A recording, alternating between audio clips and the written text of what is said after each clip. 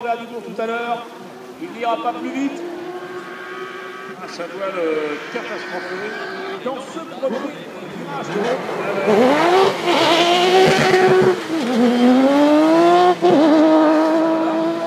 Oh, Olivier Perdon aussi Perdon aussi Olivier Perdon qui est parti complètement à l'extérieur. Champagne Champagne Jean-Pierre